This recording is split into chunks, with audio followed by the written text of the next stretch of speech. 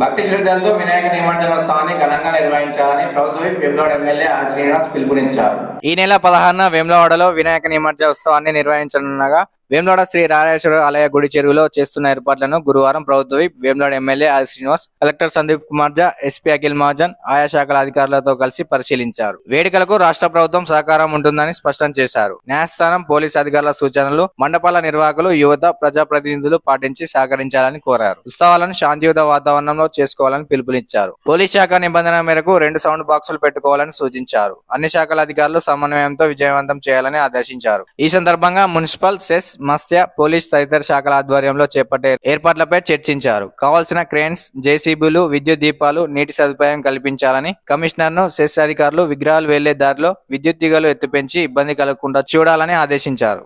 అన్ని మండపాల నిర్వాహకులు తప్పనిసరిగా నిర్ణీత సమయానికి తరలించి సహకరించాలని కోరారు. మత్స్యశాఖ ఆధ్వర్యంలో సిబ్బందిని నియమించి లైఫ్ జాకెట్లు సమకూర్చాలని ఎక్సైజ్ అగ్నిమాపక శాఖలు అందుబాటులో ఉంటూ సేవలు అందించాలని సూచించారు. వారి వెంట municipal chairperson Ramatirtham Madhavi vice chairman Bing Mahesh Vemulawada SP Seshadri Reddy RDO Rajeshwar Rajanna ఆలయ వినోద్ రెడ్డి మున్సిపల్ కమిషనర్ సంపత్ రెడ్డి తహసీల్దార్ మహేష్ ఆయా శాఖల అధికారులు సిబ్బంది తదితరులు పాల్గొన్నారు.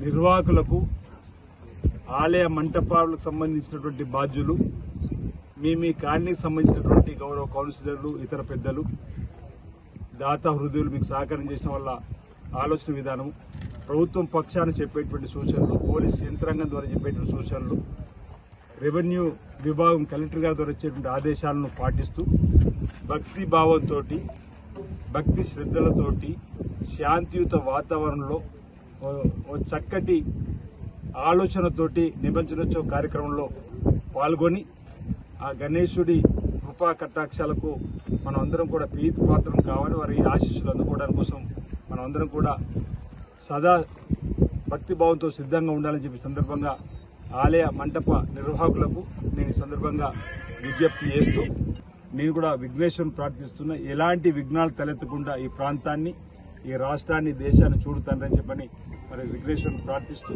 అందరికీ వినాయక నవరాత్రోత్సవ సందర్భంగా శుభాకాంక్షలు తెలియజేస్తూ మరోసారి నిర్వాహకులు విజ్ఞప్తి చేస్తున్న. పదహారవ తేదీన సోమవారం నాడు వేములవాడలో ఆనవాయితీగా మనం కొన్ని క్రమ పద్ధతులు పెట్టుకుని ఏ విధంగా అయితే నిమజ్జోత్సవంలో కార్యక్రమం పాల్గొంటున్నాం అదేవిధంగా పాల్గొనవలసిందిగా ప్రతి ఒక్కరికి కూడా నేను కోరుతా ఉన్నా.